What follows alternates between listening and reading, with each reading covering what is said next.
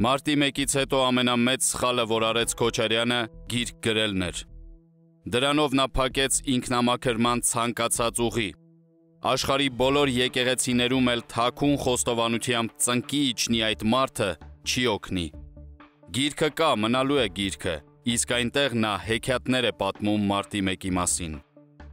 Դատավարության ընթացքում նա արդեն մի քանի մարդկային սխալ գործեց։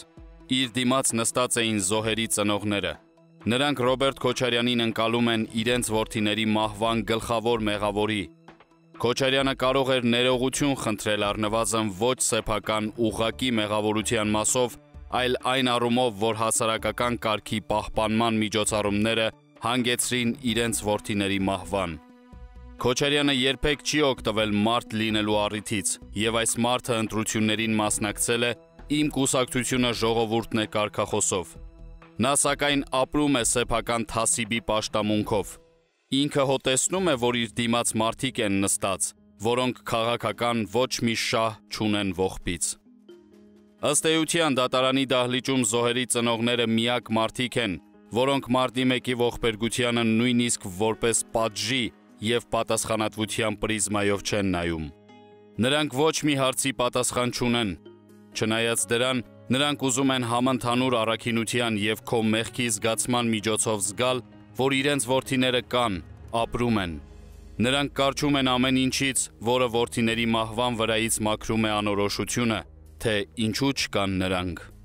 Այս ամենը մեկը պիտի հասկացներ Ռոբերտ Քոչարյանին, երբ նա գիրք էր գրում։ Պետք է ասեր, պարոն Քոչարյան, գրքումդ մի էջ դատարկ թող մարտի 1-ի դրվագի մասով որ հետագայում կարողանաս լցնել սեփական պատասխանատվության զգացումով։ Պարոն Քոչարյանը դա չի արել։ Երբ նայում ես դատարանում նրա կեցվածքին, տպավորություն անգամ չկա, որ գալու է այդ օրը։ Մինչդեռ ովքեր են այդ մարդիկ, զոհերի ծնողները, ինչու է պարոն Քոչարյանի համար այդքան նվաստացուցիչ նրանց մխիթարել սեփական սխալականության ակնթարթներով։ Ինչու չի ուզում օր ծերության մարդ լինել այդ մարդը, Չէ որ նա ապրելու է նաև դատավարությունից հետո։ Ինչքան ավելի տգեղ է, երբ քո մեղքը հրճակում են մարդիկ, որոնք քո հոգին քննել չեն կարող։ Ինչքան ավելի տհաճ է, երբ հոգիդ չիմացող մարդիկ քո մասին քո մեղքը հաստատելիս ճիշտ են, իսկ դու որ գերազանց գիտես քո մեղքը, սխալ։ Իսկ դու հոգես լավ գիտես։ Այդքանից հետո ինչպես չես տեսնում մարդկանց, որոնք որթեկորույս լինելուց զատ ուրիշ կարգավիճակ չունեն։ Ավելին, ցինիզմի գագաթնակետն է ձեր որդու Լևոն Քոչարյանի մասնակցությունը դատավարությանը։ Առաջին հայացքից տարօրինակ ոչինչ չկա, բայց ձեր շրջապատում էթիկայի զգացում ունեցող մեկը չկա, թող ձեզ հասկացնի, որ հենց Լևոնի ներկայությունն է ծանրացնում ձեր մեղքը, թեպետ Լևոնն ինքը ոչ մի մեղք չունի։ Նա իր հոր դատն է պաշտպանում։ Լևոնի ներկայությունը միայն ընդգծում է զոհերի հարազատների ցավը, որոնք նույնպես worth-ի ունեին։ Ու հիմա նրանք չկան։ Կարքին չսկսված դատավարությունում ձեր սխալներն արդեն չափազանց շատ են։ Գոնե առաջին դատերին ձեր worth-ին պետք է հեռու լիներ դատարանի դահլիճից,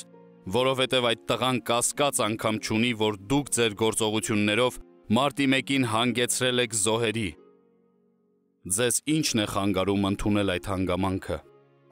Ընդունել չի նշանակում համաձայնվել մեղադրանքի հետ։ Ընդունել նշանակում է, որ պետության քաղաքացիական հայրն ի վերջո գիտակցել է իր ворթիների մահը։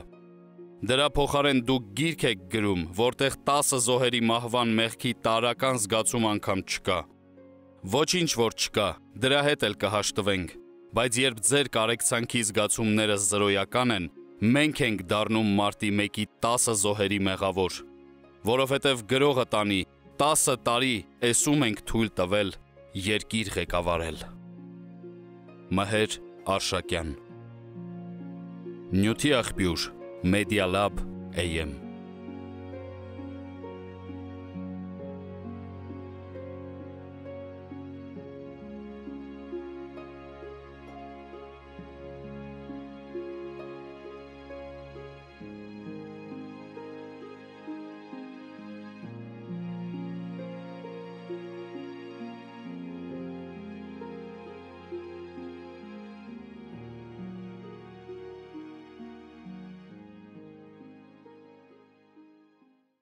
Քոչարյանին պետք է հնարավորինս արագ դատեն, Սերժին էլ հետը։ Ինչ է նշանակում քրեական հանցագործության մեջ մեղադրվողին Մոսկվայից հայտարարեն սեփական ժողովրդի լավ քաղաքական գործիչ։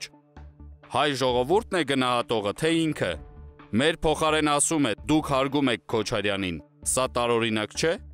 Կամ Կոլերովը հարցազրույցում բաց տեքստով ասում է. ռազմական արդյունաբերություն եք ուզում ստեղծել, պետություն եք ուզում ստեղծել։ Այո, ուզում ենք եւ դա անելու ենք։ Վերջերս էլ Pravda.ru-ն էր գրել, որ Ռուսաստանի նկատմամբ Հայաստանը հիբրիդային պատերազմ է վարում։ Ռուսական մամուլի կողմից նման վերլուծականներն ինչ նպատակ են հետապնդում։ Դե կարող են ասել նաև, որ 1939 թվականին Հիտլերի հետ միասին Հայաստանն է հարձակվել Լեհաստանի վրա։ Հայաստանն իր ինքնիշխանության աստիճանը բարձրացնում է եւ պետք է գնա այդ ճանապարհով, բայց դրա համար պետք է արդյունաբերությունը վերականգնի, առանց նայելու, թե դա ում դուրը կգա կամ չի գա։ Կարծում եք նման վերլուծականները հատուկ են գրվում Պուտինի Հայաստան այցից առաջ։ Երևի չի գալու, դրա համար ֆոն են ստեղծում։ Ուզում է գա, ուզում է չգա։ Հակառակ դեպքում ինչ է նշանակում այս տոնայնությունը դարավոր բարեկամի հանդեպ, որը 1941-ից 45 թվականներին Ռուսաստանի պաշտպանության համար 300.000 զոհ է տվել։ Այն դեպքում, երբ իր հայրենիքի համար դրա անգամ մի տոկոսը չի տվել։ Ինչ, ուրեմն մենք մեր արդյունաբերությունը չստեղծենք, մեր իշխանությունը չպահենք։ Ռոբերտ Քոչարյանի գործով սահմանադրական դատարանի վճիռը կարող է հայ-ռուսական հարաբերությունների վրա ազդեցություն ունենալ։ Արդեն ունի ազդեցություն։ Ռուսաստանի համար Քոչարյանն ընդամենը պատրվակ է։ Իրենք Քոչարյանի վրա են թքած ունեցել ինչպես ժամանակին Խանջյանի վրա են թքած ունեցել, որն իրենց մարդն էր, կոմունիստ էր։ Դա ընդամենը պատրվակ է Հայաստանի հանդեպ անբարյացակամություն ցուցաբերելու համար։ Մի բան ակնհայտ է, որ արդեն 1.5 տարի Հայաստանը համառորեն փորձում է ամրապնդել իր պետականությունը։ Մոսկվան դրա դեմ է, թեև Նիկոլ Փաշինյանը հայտարարում է, որ աշխարհակաղակական ենթատեքստ չկա մեր փեղափոխության մեջ, սակայն իրենց ենթատեքստն էլ այն է, որ Հայաստանը չպետք է ինքնուրույն պետություն լինի։ Սա Ռուսաստանի դարավոր քաղաքականությունն է, բայց դե մենք մեր ճամփով գնում ենք եւ դրա համար պետք է վարչապետին պաշտպանենք։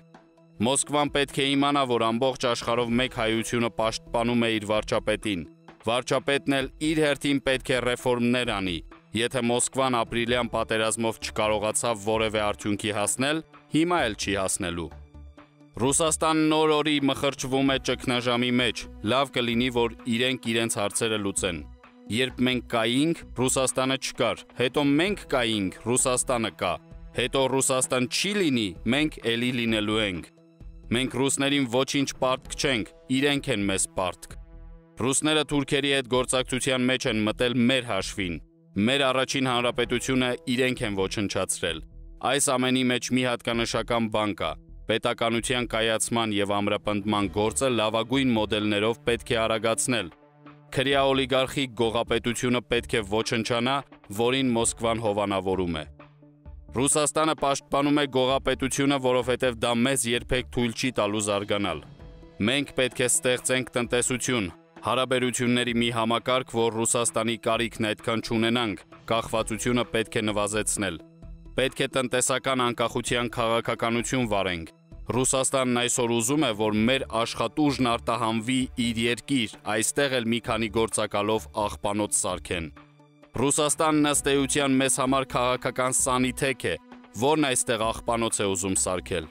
Դրա համար մենք պետք է թիկունք կանգնենք մեր վարչապետին, իսկ նա էլ իր հերթին պետք է ռեֆորմներ անի։ Հեղափոխության բազան, հենարանը պետք է լայնացնի, որ เป զի իշխանությունն ամուր լինի։